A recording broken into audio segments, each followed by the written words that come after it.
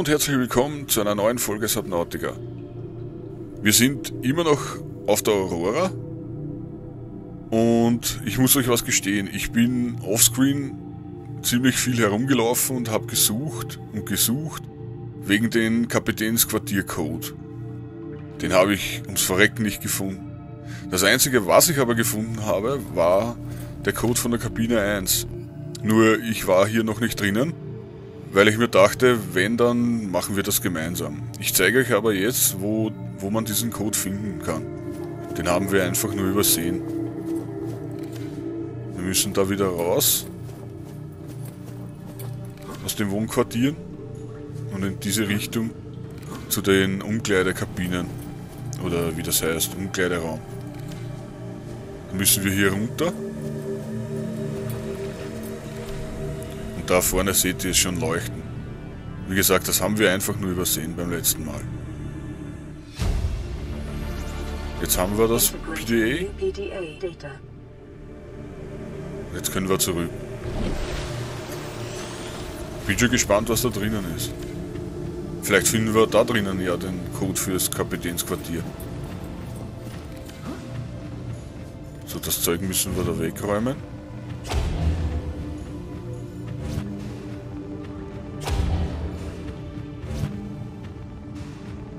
Okay, der steckt. Dann nehmen wir den.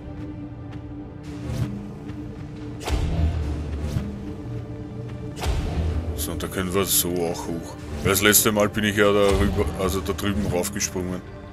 Irgendwie. Hat aber auch funktioniert.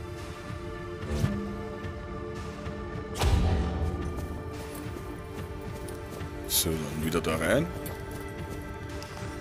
Das ist das Lager. Das diese Richtung? Ne, da drüben war es.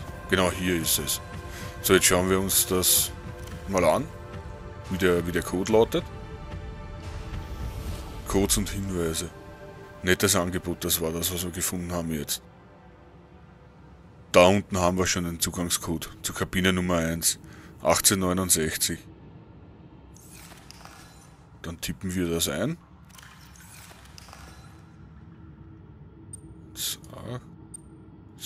6, 9. Und die Tür ist offen. So, da liegt ein PDA. Verantwortungsvolle, unabhängige Beziehungen. Das wird es nicht sein, denke ich mal, aber wir schauen dann mal nach.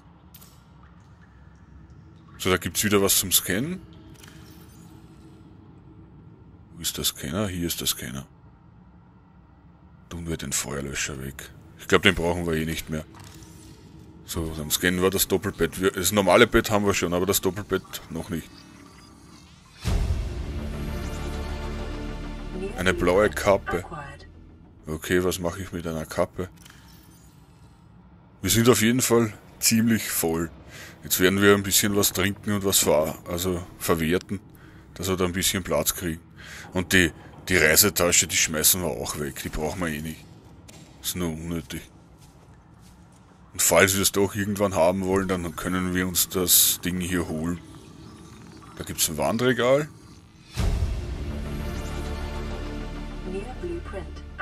George Blühstier. Okay. Das nehmen wir auch.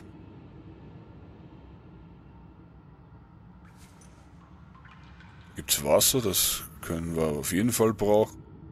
Medikit nehmen wir auch mit. So. Gut.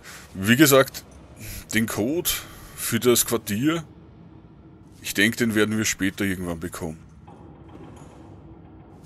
Oder, keine Ahnung, muss ich mal irgendwo nachsehen, wo man den bekommt.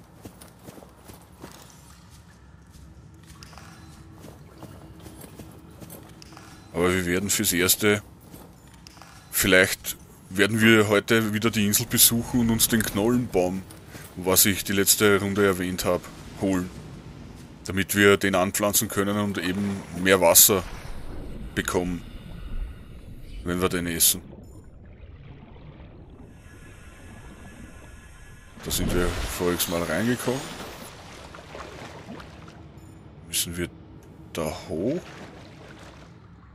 Unten gibt es eigentlich auch nichts mehr. Nee. Oder? Was ist das? Achso, das ist Papier. Nee, dann gehen wir hier rauf.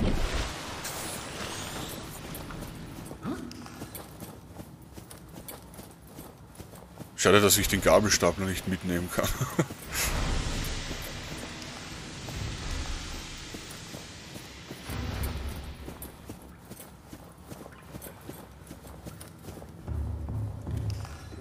so, dann daraus. Da geht es zur Verwaltung, das heißt, wir können, gehören in diese Richtung. So, und da sind wir jetzt wieder draußen. Jetzt müssen wir aufpassen, dass uns nicht wieder diese, diese hässlichen Kreaturen da ins Genick springen. Aber wir haben eh die, die Kanone. Die ist eh super gegen die Teile. Vielleicht können wir sogar so einen Todessprungwagen hier. Ja, probieren wir einfach. Werden wir schon überleben. Sehr geil, haben wir überlebt.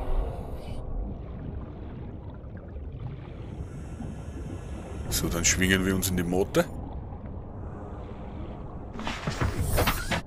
Und hauen von hier wieder mal ab. Aber ich denke, das war nicht das letzte Mal. Also, es war sicher nicht das letzte Mal, dass wir hier waren. So, aber ich mache jetzt einen kurzen Cut. Ich fahre einfach nur zur, zum großen U-Boot zurück und dann sehen wir uns wieder. Bis gleich. So, da bin ich wieder. Sind schon angekommen beim dicken U-Boot. So, dann schmeißen wir uns da rein. Als allererstes müssen wir mal das Inventar leer räumen. Die Spinde sind unten. Klettern wir runter. So. Okay, der ist voll.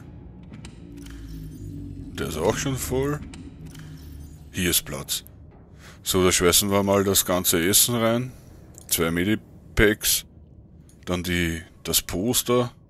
Die Sachen, was wir jetzt nicht unbedingt brauchen, schmeißen wir alle da rein. So, von den Batterien kann ich auch einige da lassen. Wenn ich zwei mitnehme, reicht das. So, dann trinken wir Wasser. Gut, jetzt sind wir wieder voll. Das heißt, wir werden uns jetzt in Richtung Insel begeben. Dass wir den Baum holen. So, Maschine einschalten. 89% nur mehr. So, jetzt müssen wir die Aurora suchen, die ist genau hinter uns. Genau. Da ist die Aurora, da ist das Heck von der Aurora und da vorne ist die Wolke. Das heißt, wir müssen genau da geradeaus.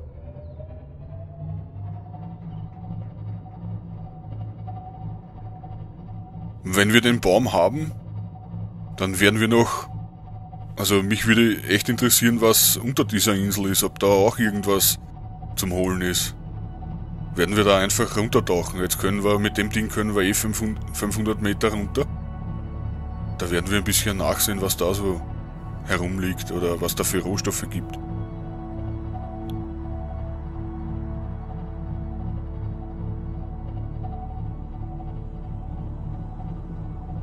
Aber eigentlich könnte ich jetzt... Ich mache hier auch einen kleinen Cut, weil da braucht ihr nicht zusehen beim Rüberfahren. Bis gleich. Da bin ich wieder. Da ist die Insel. Wir sind schon da. Bin gespannt, ob wir den Knollenbaum schnell finden oder ob wir da eine Weile suchen müssen. Ich weiß nämlich gar nicht, wo ich da anfangen soll zu suchen. Aber wir werden schon hinkriegen.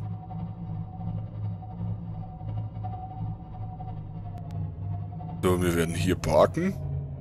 Den Motor ausschalten. Dann gehen wir auf die Insel.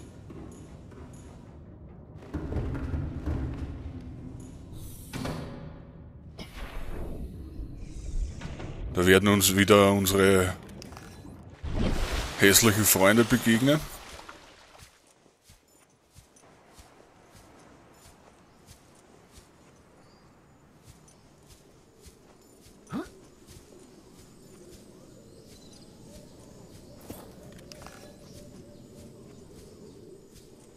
Ah, schaut mal.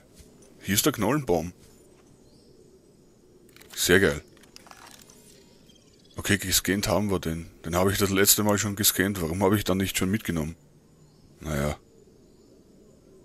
So, dann brauchen wir das Messer.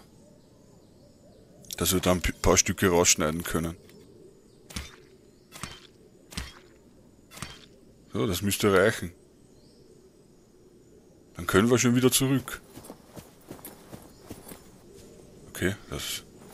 Ja, funktioniert.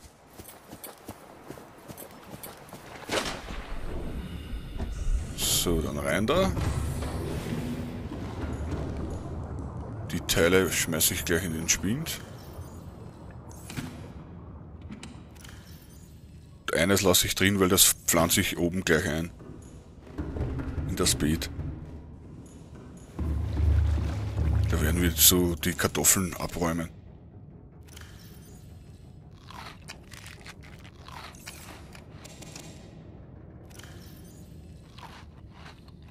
Aufpassen, dass wir den, den Knollenbaum nicht essen. Sehr schön. Na, da wächst er schon. So. Jetzt tauchen wir da schnurstracks runter. Und schauen wir, was wir da finden. Ich hoffe, nur keine Kreaturen, die uns irgendwie killen wollen oder... Ich meine, sie können es ja probieren, aber Solange sie es nicht schaffen, ist mir egal.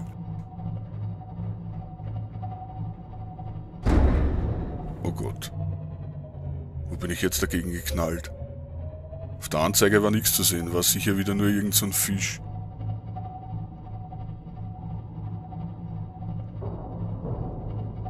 Aha. Jetzt war was auf der Anzeige zu sehen. Hinter uns. Fahren wir ein Stückchen nach vor.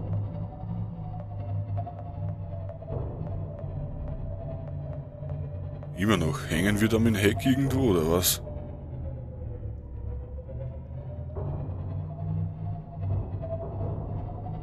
Ich schau mal in die Außenperspektive. Nee, das ist alles frei. Kein Problem. Dann tauchen wir noch weiter runter.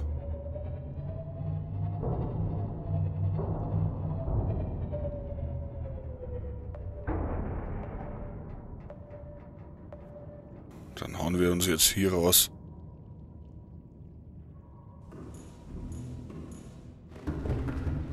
Ah ja, die, die, das Kreislaufdachgerät muss ich noch anlegen. Weil wir doch ein bisschen tiefer sind.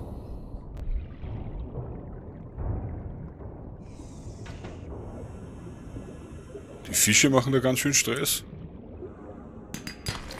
So, da ist Gold. Haben wir aber. Da brauche ich nicht, nicht, nicht extra hierher fahren. Nur wieder darauf achten, dass wir nicht erst saufen. Hier gibt es Rubin. Okay. Was ist denn das? Jetzt habe ich glaube, da liegt was. Quarz sehe ich da unten. Das ist wieder, da ist sicher wieder Gold oder irgend sowas drinnen. Das lassen wir jetzt da. Also das Blei wahrscheinlich.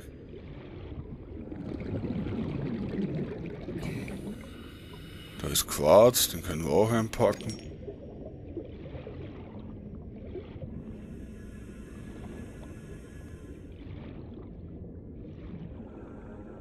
Anscheinend müssen wir da noch weiter runter. Aber zuerst gehen wir Luft, Luft tanken.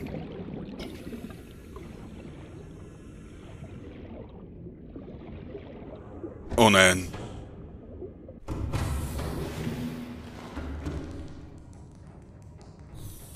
Er ist auch hier. Verdammt. Der geht mir sicher wieder auf den Sack das noch Rubin? Sammeln wir ein. Da war... Hier ist er. Hier ist der zweite.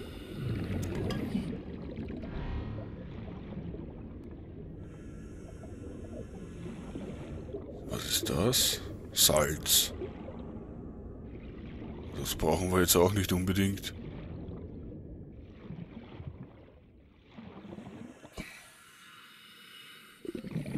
Du Scheiße. Das ist richtig unheimlich hier. Vor allem, wenn ich nicht weiß, was sich da in den Tiefen herumtreibt. Wir werden jetzt den Gleiter nehmen. Können wir notfalls vielleicht abhauen. 53% Energie, das heißt, da kommen wir auch noch ein Stück. Notfalls habe ich noch... Was ist denn das hier? Ah, das können wir scannen, das muss was Neues. Gelsack, okay.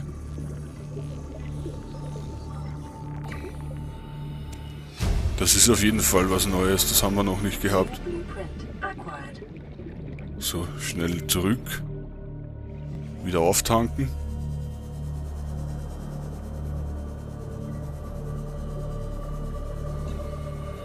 So ist der, der komische Freak da irgendwo? Nee.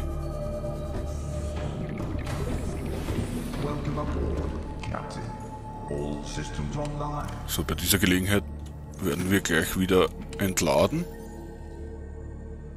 Weil sonst finden wir irgendwas Schönes vielleicht und dann kann ich es nicht einstecken.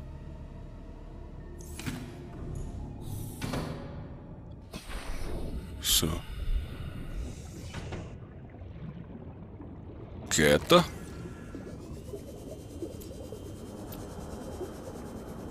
Und runter da. Das ist nix. Ein bisschen Quarz könnte ich schon mitnehmen, wenn das schon so viel ist. Was ist denn das? Diamant.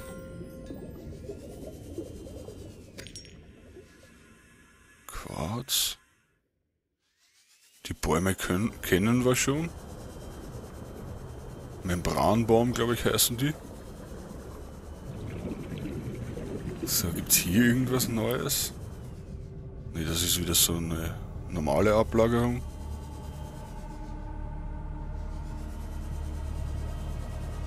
Salz. Dann nehmen wir Quarz wieder mit. So, wie weit sind wir weg von dem Ding? 150 Meter. Ja. Lieber zurück. Bleiben wir lieber da in der Nähe. Was ist das? Das ist wieder Quarz, oder? Ja. Quarz brauche ich auf jeden Fall, weil wenn ich die Base weiterbaue, dann brauche ich die für die für die Glasgänge. Und hier ist noch so ein Gelsack, den nehmen wir auch mit wieder. Da war irgendwo ein Rubin, da ist ein Rubin.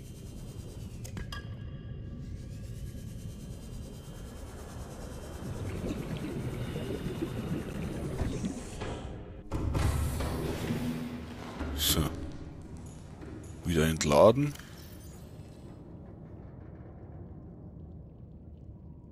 Sehr gut. Siehst du, wir könnten jetzt mal gucken, was wir brauchen für den, für den Krebsanzug, dass wir den herstellen. Wo ist denn der? Da ist er. Ah, da brauchen wir wieder diese Aerogel, was, so, das weiß ich noch nicht, was das ist. Emailliertes Glas, das bekommen wir mit Glas und äh, den Pirscherzähnen, das ist kein Problem. Diamant, ist auch kein Problem, Blei ist auch kein Problem. Und die Barren, die, da brauchen wir, glaube ich, oder mal 10 Titan für den, für den Titanbarren, genau. Und, was war das andere? Lithium, glaube ich, genau. Und das Aerogel, das kenne ich noch nicht. Aber vielleicht können wir danach schon beim Fabricator. Normalerweise müsste ja das irgendwo angezeigt werden. Synthetische Fasern, Benzol, Salzsäure. Ah, für das brauchen wir die tiefen Pilze, okay? Was machen wir mit Salzsäure, verdammt? Aerogel, da haben wir's ja. Ah, da brauchen wir den Gelsack und Rubine. Das trifft sich ja sehr gut. Das sammeln wir gerade. Sehr schön. Das passt wie die Faust aufs Auge. Aber wir sind schon wieder bei 20 Minuten angekommen. Ich möchte mich bei euch bedanken, dass ihr mich so tatkräftig unterstützt und meine Videos anseht. Ihr könnt euch gar nicht vorstellen, was es für mich bedeutet. Und deshalb hoffe ich, dass es euch wenigstens ein bisschen gefallen hat.